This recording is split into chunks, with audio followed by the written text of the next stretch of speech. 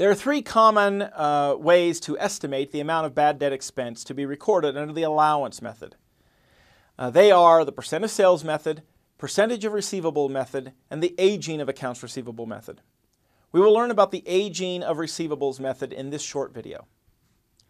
The aging of receivables method is sometimes called the balance sheet approach to estimating bad debt expense because it focuses on the balance sheet account allowance for doubtful accounts. The method uh, calculates what the adjusted balance in the allowance for doubtful accounts should be. Then we record bad debt expense to make that balance correct. Usually this method starts with a table.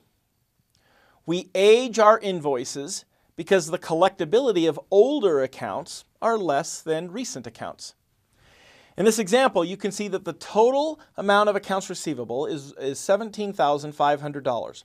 But we have classified that into four subtotals based on aging. Then we use historical bad debt rates for each of those aging columns. Then we multiply the aged columns, uh, the totals, by the historical rate to determine how much of each classification we think we won't collect. The total of these becomes the amount of accounts receivable we think we won't collect. And that should be the balance in the allowance for doubtful accounts. So in this example, we think the balance in the allowance for doubtful accounts should be a credit of $825. $825 is not the amount of adjusting entry, however. Let's look at this example.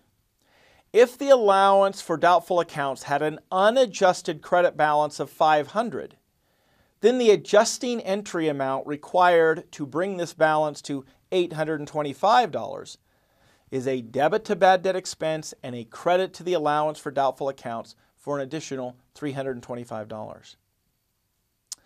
Sometimes you will see an example like this. If we've written off more accounts than expected, we could, temporarily, have a debit balance in the allowance for doubtful accounts.